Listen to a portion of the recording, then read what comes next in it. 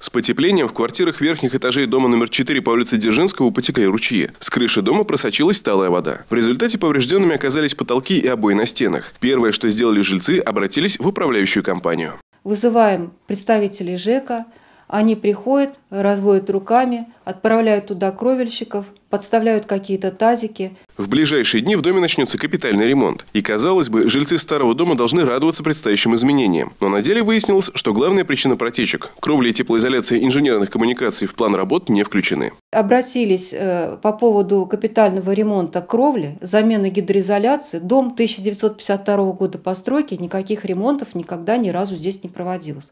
Вообще. Вот. И в итоге нам ставят очередь на капитальный ремонт и замену кровли на 2037 год. Жители дома не намерены терпеть регулярные протечки кровли еще 18 лет и настаивают на переносе капитального ремонта на более ранние сроки. Но, по словам местных чиновников, в этой ситуации они бессильны, так как план проводимых работ определяет региональный оператор. Для изменения сроков капремонта жильцам предложили провести независимую экспертизу. Чтобы ну, перед, ну, по заключению экспертизы чтобы добиться переноса вот этого капитального ремонта на более ранние сроки. Ну а какая экспертиза может быть? Я и так, если вот ну, посмотреть нашу крышу, все и так ясно, мне кажется, без экспертизы. Как пояснили в управляющей компании, к текущему ремонту кровли приступят при благоприятных погодных условиях.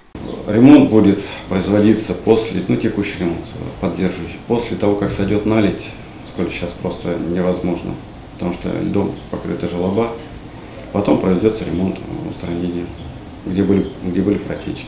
Ответственность за повреждение имущества от протекания крыши управляющая компания себя не снимает. Инженеры-смотрители оценят размер ущерба. И жильцам будет предложена либо денежная компенсация, либо косметический ремонт. На ближайшее время назначена встреча Совета дома с представителями управляющей компании и специалистами ДГХ, на которой будет решаться вопрос капитального ремонта кровли. Канал 16 будет следить за развитием событий. Елена Горецкова, Артемий Глазков, Александр Мальков. Служба новостей Саров 24.